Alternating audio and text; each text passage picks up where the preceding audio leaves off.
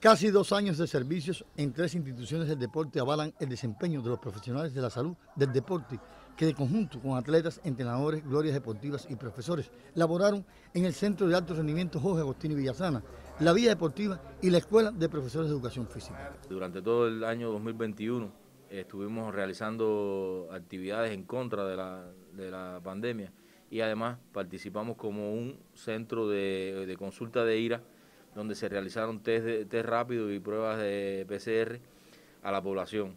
O sea que estuvimos vinculados con este tema de, de, la pandemia. Sin descanso alguno, ahora de vuelta a la nueva normalidad, asumen los controles médicos a cerca de 700 estudiantes continuantes del Centro de Alto Rendimiento de Cienfuegos Jorge Agostini Villasana.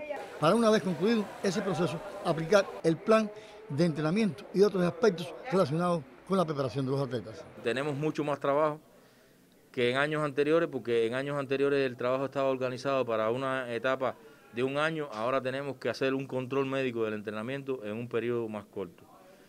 Ya comenzamos con el béisbol primera categoría, se le, hizo, se le realizó el chequeo médico al béisbol de primera categoría, saliendo todo satisfactoriamente. Y comenzamos ahora con el béisbol categorías inferiores, que son los primeros grupos que van a competir.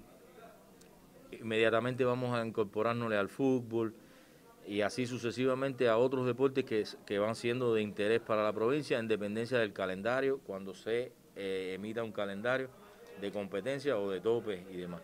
Además de su razón de ser, el Centro de Medicina Deportiva también presta otros servicios a la población.